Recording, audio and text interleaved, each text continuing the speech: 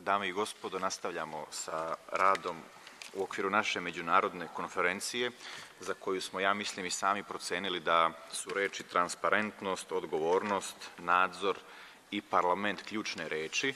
Mi sada nastavljamo prema programu koji je prethodno definisan i sada ćemo da govorimo o odnosu Narodne skupštine i nezavisnih nadzornih tela. Moje ime je Vladimir Pavićević, ja sam narodni poslanik u Narodnoj skupštini Republike Srbije i zamenik predsedavajuće izvršnog odbora GOPAKA Srbije, gospođe Olgice Batić, i ja ću samo moderirati ovu raspravu koja će da traje, odmah to moram da kažem, tačno 45 minuta, ni sekunde više, tako da ću odmah da zamolim naše govornike ovde da se drže utvrđenog dogovora, da govori traju najduže 10 minuta, kako bismo nakon toga imali 15 minuta za našu raspravu.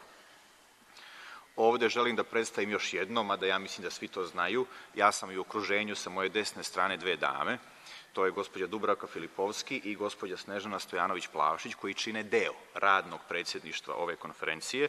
Ja sam se već predstavio, sa moje leve strane nalazi se gospodin Naser Elsane, predsedavajući upravnog odbora i član izvršnog odbora GOPAKA, koga smo zamolili da svoje izlaganje saopšti u okviru ovoga panela.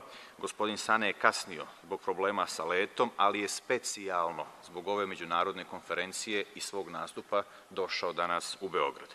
Tako da ću zamoliti gospodina Elsanea kasnije da nam se obrati, a mimo gospodina Elsanea veliko mi je zadovoljstvo što mogu danas da vam predstavim i gospođu Nataliju Ćatović, članicu Saveta državne revizorske institucije u Republici Srbiji i gospođu Milicu Božanić, pomoćnicu direktorke Agencije za borbu protiv korupcije, koje će takođe da saopšte svoje izlaganje u trajanju ne dužem od 10 minuta. Dakle, poželjno je nešto malo kraće, ali duže nikako ne može da bude dozvoljeno.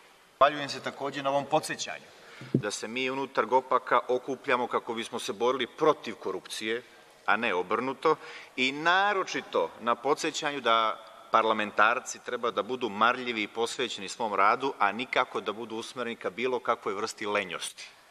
Hvala mnogo na tome i posebno se zahvaljujem ovde, moram i to da kažem, na saopštenim iskustvima i lekcijama iz svog kraja, iz svog regiona koje nam je gospodin Lsane sada ovde predočio.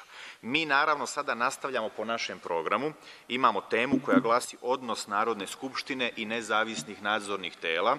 Ovde je reč o slučaju Republike Srbije i ja ću samo u dve rečenice, kratki jedan uvod ovde da saopštim. Narodna skupština je u ustavnom sistemu Republike Srbije centralna politička institucija može slobodno se kaže, najvažnija politička institucija i to zato što vrši ne samo zakonodavnu, već i kontrolnu, predstavničku i izbornu funkciju.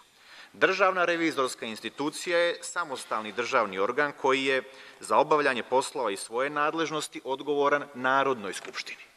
Ista stvar važi za Agenciju za borbu protiv korupcije. I sada nam je, ja mislim, ovde veoma zgodno da možemo da čujemo dve osobe iz, dve, iz dva samostalna državna organa da govore na temu odnosa Narodne skupštine kao centralne institucije i nezavisnih nadzornih tela. Evidentirao ovde jedno javljanje za reč i to jednog člana akademske zajednice i u Srbiji jednog čoveka koji je prepoznat kao veliki borac protiv korupcije, to je profesor Zoran Stojiljković sa Fakulteta političkih nauka Beogradskog univerziteta. Izvolite profesore Stojiljković i molim u tri minuta da smestite svoj Ja bih ti sva tri minuta dao da me nastaviš da hvališ u čuvenom maniru ja tebi serdere, ti meni vojvoda. Dobro.